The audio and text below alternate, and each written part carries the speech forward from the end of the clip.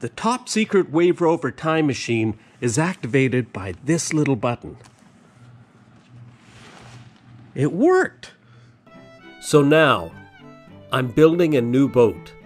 Smaller, lighter, but more suited for a solo circumnavigation. The Wave Rover 650.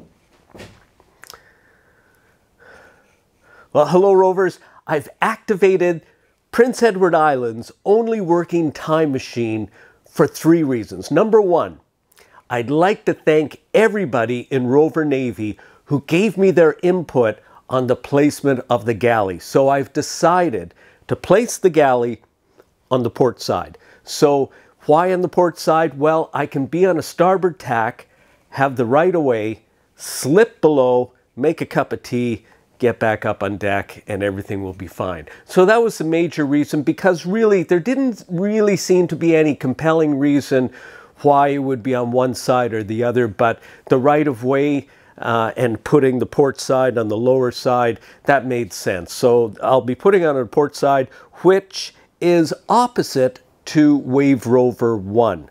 Now, the second reason I've activated the time machine is to just to show you where we are because we are at least a couple of months ahead of the regular videos and that's why I'm activating the time machine so you can see where we are and the progress that we've made. And I'll give you a boat tour in a minute. And the third reason is there is yet another big announcement to make concerning a big change in the look and superstructure of this project, the Wave Rover 650. And I'll get into that in a minute. But let's now grab a boat tour. So starting up here on the port side, this is where the galley will be. And nothing has happened really from this bulkhead and of course the adjacent one over here. Uh, nothing has really happened from that point forward since the last video, but boy, a lot of stuff has happened aft of those two bulkheads. So, I mean, the thing that really stands out is probably the deck beams. They're all in, they're faired, everything looks pretty good, and we're very close to decking over. Uh, the boat is a bit of a mess right now. You can see that, and there's more mess coming later today. So, uh, but I just wanted to bring you this boat tour while I can. Um, another big change is the bunk is in. And the bunk isn't just a bunk, it is in fact a series of compartments, five compartments. And right here I've removed the lid. Now of course these lids are going to have closures on them just like I had in Wave Rover 1, but that'll be more in the finishing stage later on. But right here you can see inside, well, it's been fiberglassed, uh, not completely, but mostly, and also it has two coats of S1 epoxy. And because of that, I, am considering this space finished. You know, it, it's a time consideration. If you have more time, paint it as well. But for me, I'm considering this finished.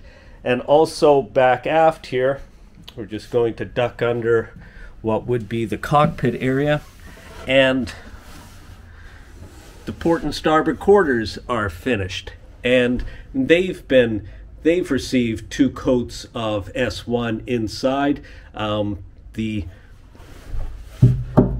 this is a structural piece. There's a beam running across. There's an inspection hatch that'll be going here, and of course, uh, here as well. I've decided that I'm just going to leave these open so that I can, well, let's see which one is brighter. Maybe this one, so that I can get inside these holes and just take a really good look and make sure we don't have any condensation. So I'll be doing that at first. I can always fill these with pop bottles, empty pop bottles later for buoyancy. And this, the way I like it, it uh, to do that would be put the pop bottles in some sort of net bag so that uh, if we do take a hole, everything will, you know, won't go rushing out the hole. But uh, the, the other thing we should be well aware of is down here, you can see a horizontal line just at the back here. Uh, that actually is the water line. So, I mean, we are really well above the water line with these crash bulkheads. Now, the area that I'm actually in right now is a fair size area, and the beam right here that we're looking at, right here, this marks what would be the aft end of the hatch to enter Wave Rover 650. And there will be some structure that'll come out. I haven't decided fully on that yet, and then come down. And this whole area in here where I still have to build a skeg and some floors. Uh, this is where I will store the dinghy, and I made a decision on the dinghy. So the dinghy, I am going with a 2.3 meter, which is 7 foot 6 inch dinghy, inflatable dinghy. Um, they're not too expensive on account of their PVC. Now, I know Hypalon is a superior product for a dinghy but Hypalon, as it turns out, doesn't fold up as small as PVC. It's certainly a lot more expensive than PVC. And really, I, I, I don't need that because the, the, the dinghy's going to spend the majority of its time inside this space and it'll just be taken out, inflated, and then I'll use it to go ashore to get water and supplies and then we get back on our trip. I mean, it's not as though a PVC dinghy is going to uh, be destroyed in a year or two. The manufacturer tells me it's uh, they're quite a bit tougher than that, and there's some sort of spray I can put on it that will give it a much longer life and UV resistance. The uh, dinghy has an air floor. I had a choice on going with an air floor or with uh, with um, an aluminum floor, and it uh, turns out that the air floor, of course, is lighter, but the but it folds up smaller. The the aluminum floor is extra length that I have to take care of. So, you know, it's a big space, but there are other things happening in this space. So I just wanted to make sure everything was going to work out for me. So that's it on the dinghy. I, I can't really show it to you because it's ordered and it'll be another three months before it arrives. So in the next couple of days, I'll start decking over this area. And I'll be doing that with the same ply that the hull is made out of, 3 8 marine ply, Meranti 1088, I think is the standard. And, uh, uh, well, I, I'm not exactly sure how that'll go. You know, I'll start, there's two different pieces. They'll be running athwartships. I'll start with the small one and get a feeling for how it's going, and then this bigger one. Um, on this, on the note of this bigger one, right here, this is where the cabin starts. So the hatch starts right here, the aft end of the hatch comes forward, and then the cabin, the aft end of the cabin starts right here.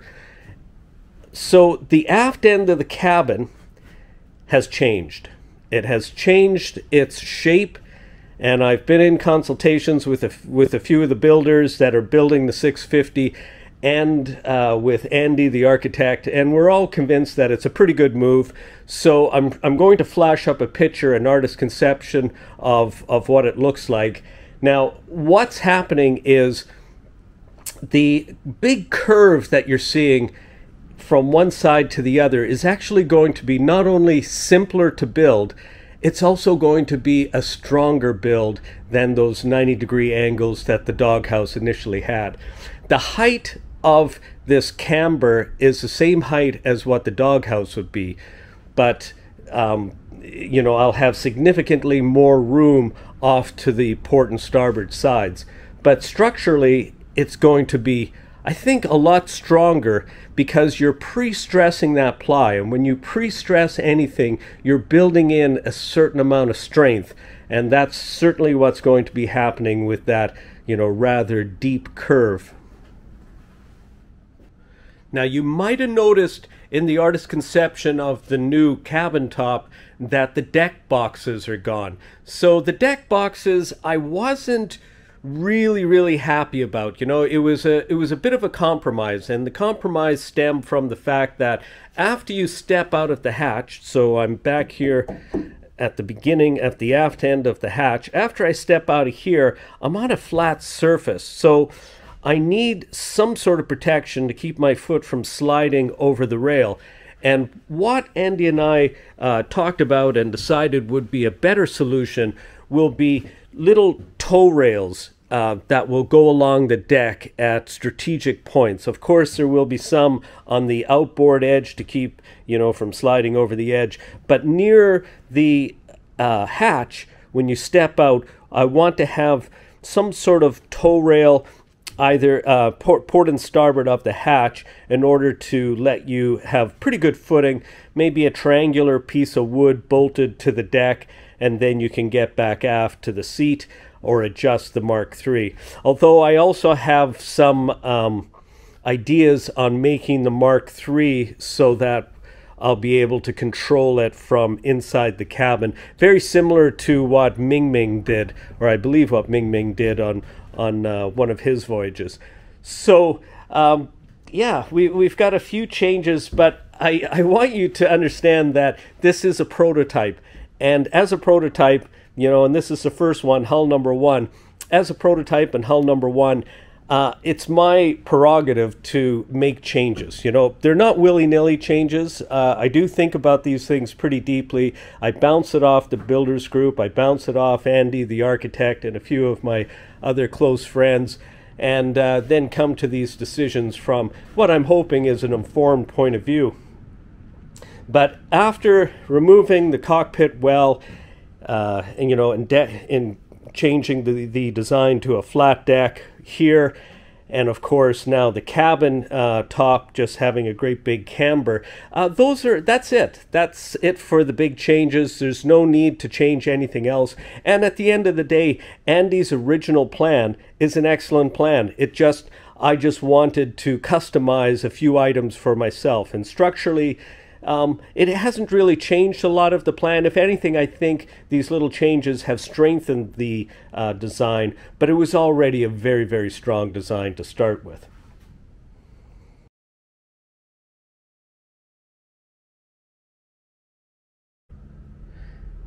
Now, in the last, um, I think when I put the keel beams down, there was a question about limber holes.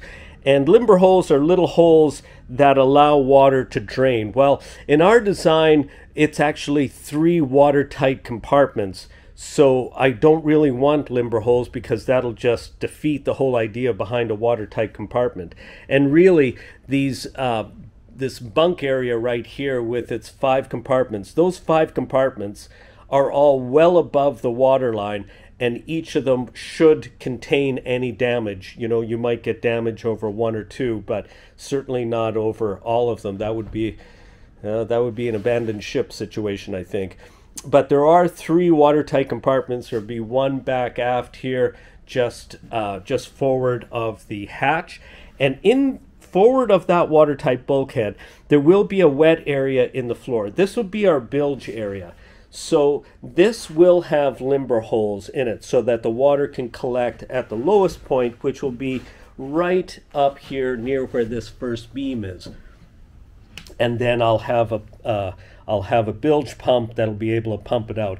Now it, it won't be very deep because of the dimensions of the boat, but I do plan on having a pretty dry boat for the most part. But if water does come in, it, it will be contained pretty much below the hatch because there there really are no other real openings. There's going to be some vents, but no real openings for water to come in.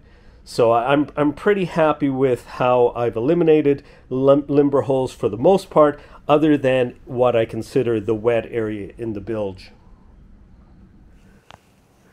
Well, Rovers, that concludes our uh, time machine boat tour. Um, I hope uh, you found it interesting and I'd like to get your input on what you think about the new cabin top design. And like I said, that's that's probably the last major change. Um, very shortly, in the next few weeks, I'll be going on a bit of a field trip. I have someone who's going to be helping me. is actually a professor at University of Prince Edward Island who has taken an interest in our project and has come up with a really slick uh, keel design. It's still bilge keels, of course, but just a different way of attaching them. And we're going to head up to the university, use the water jet cutter cut the steel and then weld up these keels. I assure you, that's going to be very interesting, and that's a lot of stuff uh, I'll be seeing for the first time, and I think it's going to be pretty interesting. Now, there is one thing other I would like to get your input on. So ventilation in this boat. So as you know from the drawings or the artist conception, we have two dorade vents that are up near just just after the mast, and that'll that'll get nice, uh, reasonably dry air into the boat. And then on the aft end of the cabin, which is right here, I would like to have some sort of through hull uh, venting uh, on one side or both sides.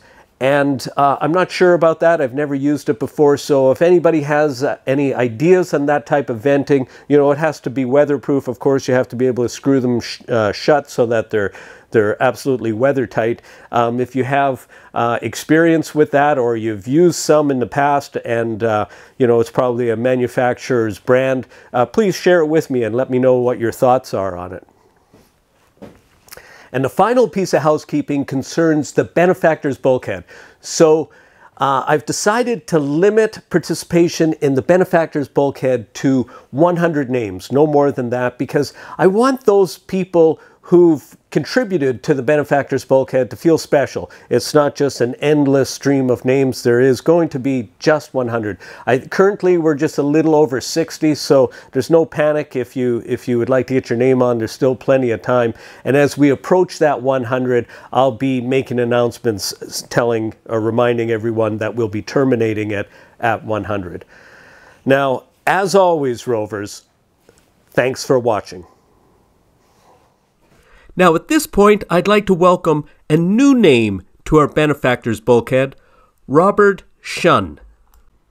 So, what is a benefactor? Well, these folks have made a contribution of $100 US or more to the project, and their names will be affixed to a bulkhead inside Wave Rover and will be traveling with me on our circumnavigation.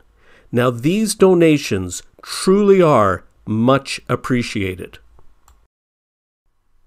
Well, Mr. Speckles and I would like to take a moment to thank all the Wave Rover patrons whose pledges of support help power the Wave Rover project.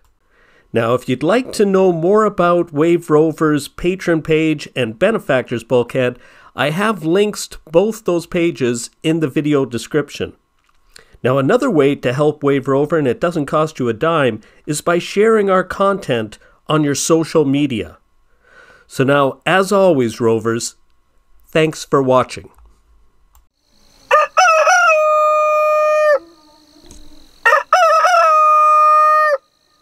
Give us one more.